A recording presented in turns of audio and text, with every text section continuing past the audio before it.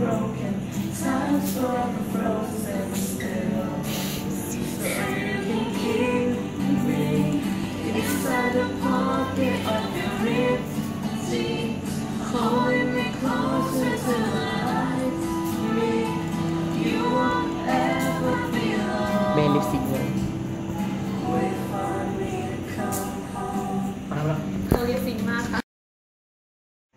Why are we singing Ed Sheeran song? Well, because he is my favorite singer.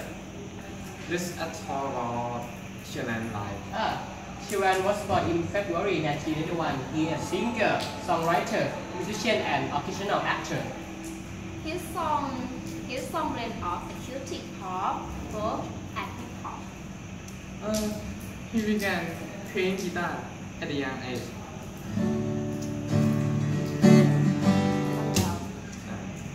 And he started by his own song.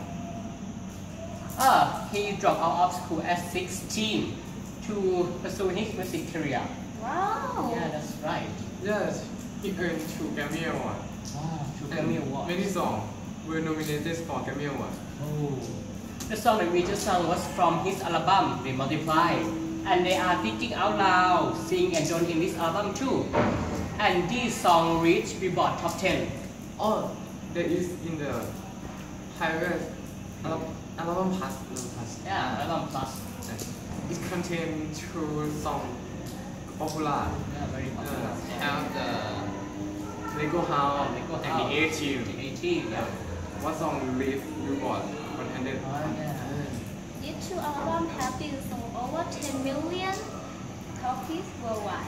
And you know it has more than 500 million stream on Spotify. Uh, why is he your idol? Well, because he's so ambitious to pursue his music career. Uh, even though all from his school and he come to England, He is not only a vocalist but also a real singer. what does it mean? It means he didn't wait for, wait for someone to give him a song to sing, but, but he wrote his own song. His song was written by his own, but few songs has a co-writer. Uh, his songs are so great and receive positive review from music critics.